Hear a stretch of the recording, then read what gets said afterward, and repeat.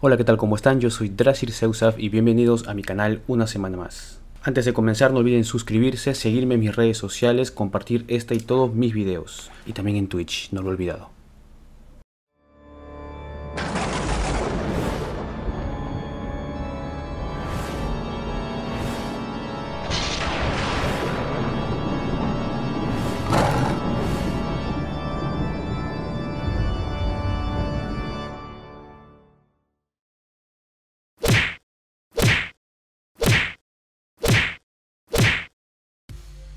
Desde hace mucho tiempo he estado viendo comentarios de este tipo con gente que confunde un poco el término gótico o cree que nosotros somos descendientes o una continuación de una tribu germánica muy antigua, cosa que no es así. Así que decidí hacer este video dando eh, un poco de información para aclarar de una vez este tema. He dividido este video en cuatro segmentos que serían los godos, es decir, las tribus germánicas de la antigüedad, la arquitectura gótica, la literatura y expresionismo gótico y la subcultura gótica como tal. Tendrá que ver una con otra, vendremos o seremos eh, secundarios de alguna de estas cosas góticas anteriores. Al final de este video espero que podamos tener una respuesta certera y que todos podamos concordar en lo mismo.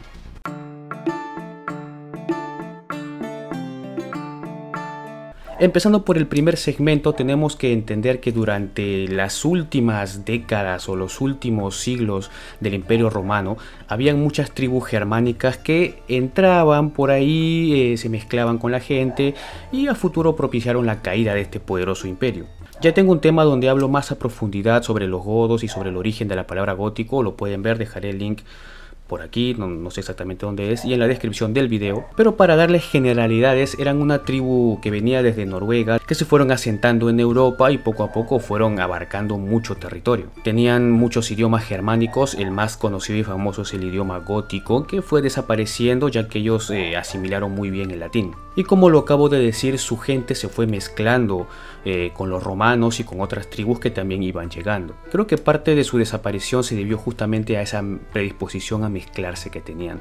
Su idioma nunca prevaleció y su gente como etnia tampoco siempre se mezcló. Sin embargo, su condición de pueblo bárbaro caló bastante en la gente durante siglos, que después se fue evidenciando en eh, la segunda parte, ya veremos por qué.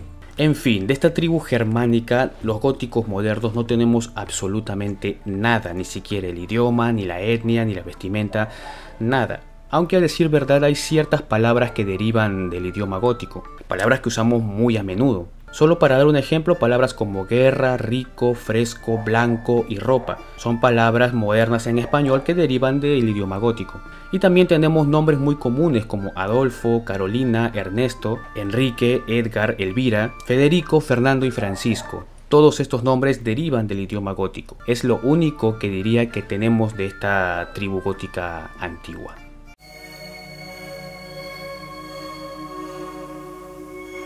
En el segundo segmento tenemos que irnos muchos siglos más en el futuro, específicamente a la segunda mitad de la Edad Media. Pero ¿a qué nos referimos con arquitectura gótica? ¿Qué es? ¿Por qué lleva ese nombre? ¿Tiene algo que ver con las tribus germánicas? A decir verdad, la palabra arquitectura gótica fue posterior a la Edad Media, eh, específicamente en la época de la Ilustración es que se empezó a denominar eh, así este tipo de arquitectura, en un sentido peyorativo, la verdad, pero caló bastante hasta el día de hoy. En su época, es decir, en la Edad Media, este estilo arquitectónico arquitectónico era llamado Opus Francigenum, algo así como estilo francés, ya que sus orígenes están ahí en Francia. Ahora, aquí viene lo interesante y algo clave, ¿por qué fue llamado gótico o gódico? Simplemente porque en la época de la ilustración, en el renacimiento, se intentaba evocar mucho eh, el estilo casi perfecto de la edad antigua, es decir, de la época clásica. Entonces, este tipo de arquitectura que era bastante ostentosa, bastante llamativa, pues era considerado como algo bárbaro. Y ahí está la clave. Se intentaba minimizar mucho a este estilo arquitectónico tildándolo de bárbaro. Se buscaba la perfección y la armonía que había tenido el imperio romano y los griegos eh, en épocas antiguas. Y se quería dejar de lado todo este concepto de edad media que había quedado bastante mal, había sido una época muy oscura, entre comillas, para ellos. Así que como ya lo dije de manera despectiva fue llamada arquitectura gótica porque evocaba mucho el estilo barbárico que tenían las tribus germánicas. Ahora, no quiere decir que hayan sido los godos o descendientes de godos los que hayan eh, inventado o popularizado este estilo arquitectónico, para nada. El estilo gótico es muy marcado, posiblemente haga un video sobre la arquitectura gótica, sin embargo es bueno dar ciertas generalidades. Las características principales eran el arco apuntado de medio punto, es decir, no en forma circular, la bóveda de crucería, el contrafuerte o arco arbotante, eso sí es eh, bastante clásico en la arquitectura gótica, el rosetón y las ventanas, el chapitel y las gárgolas. En las catedrales góticas se buscaba mucho la iluminación, entonces por eso es que no tenían casi paredes, todo eran eh, puras vitrinas, vidrios y ventanas. Y estos espacios se aprovecharon para hacer las famosas vidrieras o mosaicos. También existe la pintura gótica, que no son pinturas oscuras como hemos visto en algunos eh, ilustradores en este canal, sino me refiero a, la corriente de la pintura gótica como tal, que es, eh, digamos, la sucesora del estilo románico. Solo que a diferencia de este, contaba con muchas sombras que le daban volumen. Tanto la arquitectura como la pintura gótica se dejó de lado durante el Renacimiento para dar paso a otras corrientes. También vi un comentario que decía, esta no es música gótica, la música gótica es la que se cantaba en las iglesias antiguas y imagino que se refiere al canto gregoriano y estas eh, músicas de las iglesias, pero esta no es música gótica, eran músicas y cánticos eclesiásticos que no tenían nada que ver con el tipo de iglesia en la que estaban, podía ser eh, de otros estilos arquitectónicos y se cantaban igual, así que eso no era música gótica, era un punto solo para aclarar. Y nuevamente aquí recalcamos que este estilo arquitectónico o expresión artística no tiene nada que ver con los góticos modernos hasta ahora, tampoco derivan de las tribus germánicas.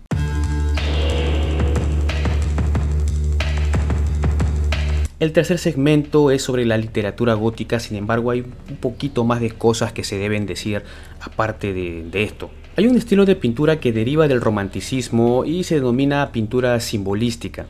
¿Y en qué consiste esto? Las pinturas de este estilo tienen una temática onírica y fantasiosa, inquietante y sobrenatural. Es muy personal y muy subjetivo. Entre los artistas de este estilo tenemos a Odilon Renon, Gustave Doré, James Ensor y bueno, podría considerar a Francisco de Goya, ya hice un video sobre él, el estilo es diferente pero yo lo enmarcaría dentro de todo este contexto que ya se siente y se ve bastante oscuro. Muchos de estos artistas eh, eran ilustradores de novelas y de pasajes bíblicos. Por ejemplo, Gustave Doré es muy famoso porque ilustró eh, la Divina Comedia y también la Biblia. Y aquí ya empieza una etapa de bastante oscurantismo. Eh, se intentaba contar cosas del pasado, eh, cosas místicas, cosas eh, de ocultismo de la Edad Media, de la Edad Antigua, y se usaba bastante esta clase de estilo inquietante. Yo aquí ya empiezo a ver ciertas características que después fueron tomadas por eh, las tribus urbanas góticas. Sin embargo, hasta aquí todavía no hay subcultura gótica, no descienden de los godos ni tiene nada que ver con la arquitectura gótica. Todo eso, a mi parecer, se va a juntar en lo que es ahora sí el terror gótico. Un estilo literario bastante intenso, bastante famoso, bastante fuerte, que hasta el día de hoy es referenciado por casi todo el mundo. Se empezó a llamar estilo gótico o novela gótica, eran historias en su mayoría de terror, aunque también hay otras que son bastante existencialistas y otras un poco más románticas. Hay ciertas características importantes de las novelas góticas que ahora voy a mencionar. Algo que sí es propio de la novela gótica y de donde viene el nombre es que la trama y la intriga se desarrollan en castillos viejos, castillos góticos o catedrales. Es por eso que lleva este nombre y esto es clave, porque si hubiera sido en otros lugares hubiesen tenido otro nombre seguramente. Otra característica importante es que tienen una atmósfera de misterio y suspenso, hay eventos sobrenaturales o de difícil explicación. Los protagonistas en su mayoría son personas marcadas y con algún temor o trauma. Y dos puntos que yo considero muy importantes dentro de las características de la literatura gótica es que hacen una descripción eh, bastante romantizada, tanto de un personaje, de sus emociones, como del lugar donde están. Es por eso que cala bastante fuerte en el espectador, porque te sientes identificado y en ciertos momentos parece que eres tú mismo el que estás ahí, y eso te da más miedo. La literatura de este estilo es muy minuciosa, te describe muy bien las emociones que se siente, te describe bastante bien el lugar donde están. Y esto se complementa bastante con estos pintores que ya había mencionado.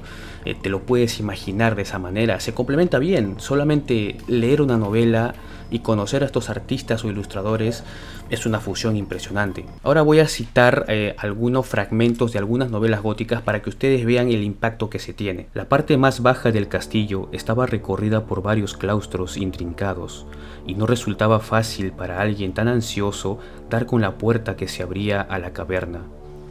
Un terrible silencio reinaba en aquellas regiones subterráneas, salvo de vez en cuando algunas corrientes de aire que golpeaban las puertas que ella habían franqueado, y cuyos goznes al rechinar proyectaban su eco por aquel largo laberinto de oscuridad.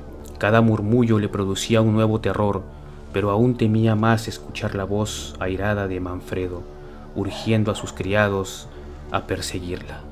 Avanzaba sin hacer ruido, y en la medida que su impaciencia se lo permitía, aunque se detenía a menudo y aguzaba el oído para saber si la seguían. Este es el fragmento de una novela llamada El Castillo de Otranto, es muy buena, la recomiendo, aunque hay muchos personajes, pero si le dan personalidad a cada uno lo van a saber entender. Repentinamente tuve conciencia de que el conductor estaba deteniendo a los caballos en el patio interior de un inmenso castillo ruinoso en partes, de cuyas altas ventanas negras no salía un solo rayo de luz, y cuyas quebradas murallas mostraban una línea dentada que destacaba contra el cielo iluminado por la luz de la luna. Escuché pesados pasos que se acercaban detrás de la gran puerta y vi a través de las hendiduras el brillo de una luz que se acercaba. Se escuchó el ruido de cadenas que golpeaban y el chirrido de pesados cerrojos que se corrían. Una llave giró, haciendo el conocido ruido producido por un largo desuso y la inmensa puerta se abrió hacia adentro. Este es un fragmento de Drácula cuando Jonathan Harker llega al castillo. Como ven, esta característica de describir muy bien la emoción y el lugar te lleva a ese momento y te hace pensar hasta que tú mismo eres Harker, te lo describe muy bien. En las novelas góticas modernas hay un ligero cambio, ya que se deja un poco de lado eh, la arquitectura para romantizar más eh, a los personajes, eh, una descripción un poco más detallada de un ser más que de un lugar. El vampiro era totalmente blanco y terso, como si estuviera esculpido en hueso blanqueado, y su rostro parecía tan exánime como el de una estatua, salvo por los dos brillantes ojos verdes que miraba el muchacho tan intensamente como llamaradas en una calavera. Pero entonces el vampiro sonrió casi anhelante, y la sustancia blanca y tersa de su rostro se movió con las líneas infinitamente flexibles pero mínimas de los dibujos animados. Esto es un fragmento de entrevista con el vampiro y como ven es mucho más detallado la descripción de un personaje, romantiza mucho a los villanos para que te sientas identificado y puedas tener muchas más emociones. Ya en el siglo XX hubo otras expresiones artísticas como el cine y la televisión, ya sean versiones de novelas antiguas tales como eh, Noferatu o parodias como Los Monsters, Los Locos Adams y otras infinitas películas y series donde ya se veía digamos de forma visual visual cómo la gente interpretaba todas las novelas góticas que se habían hecho muchos personajes, muchos lugares, castillos, situaciones y todo eso llegó a complementar mucho más el concepto de terror gótico. Entonces hasta aquí ya vemos que hay características fundamentales que van cimentando el camino hacia la subcultura gótica. Sin embargo, esta aún no existe. Ya para finales de los años 60 había mucho material de qué trabajar. Teníamos novelas góticas ambientadas en castillos góticos más oscuros. Teníamos ilustraciones que enriquecían más nuestra imaginación sobre este mundo siniestro. Y a su vez habían muchas películas y muchas referencias visuales sobre cómo podían lucir estos personajes en la vida real.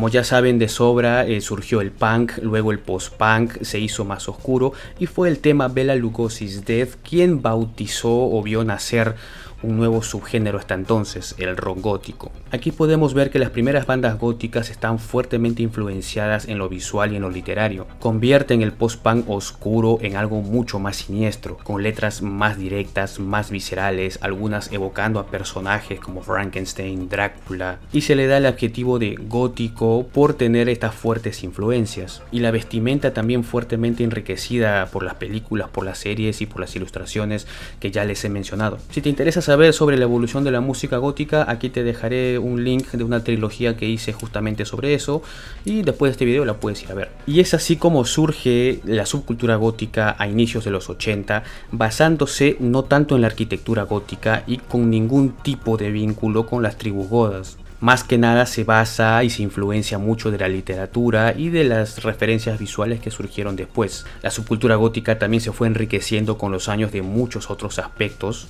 y al día de hoy podemos tener una tribu urbana, una subcultura muy bien definida. Características de la subcultura gótica creo que está de sobra decirlas, pero es justamente este gusto hacia las expresiones artísticas eh, tétricas el miedo y la sugestión que nos causan eh, ciertas canciones, ciertas letras, eh, videos musicales, pintura gótica, eh, lienzos, las pinturas negras de Goya, las ilustraciones de Gustave Doré, series de los años 60, películas de los años 30, toda esta temática que se fue cimentando poco a poco, que fue dando características y atisbos de que algo se venía, al final se lograron juntar y las personas que somos góticas pues somos bastante influenciadas por esto. Esta es mi interpretación de la subcultura gótica. Obviamente hay muchos otros aspectos eh, que faltan, que pueden ser detallados y en los comentarios lo pueden decir. Así que en resumidas cuentas tenemos estos cuatro segmentos que son las tribus godas, la arquitectura gótica, la literatura y otras expresiones y la subcultura. Como ven una no tiene que ver con otra, otras son influenciadas por una anterior, pero a fin de cuentas son cosas distintas. En fin, espero que haya quedado claro el tema de por qué somos góticos y por qué no venimos o no tenemos nada que ver con las tribus germánicas. Espero que quede claro el tema, que hayan despejado sus dudas y que les haya servido mucho esta información. En fin, yo soy Drasir y conmigo será tal vez hasta la próxima semana.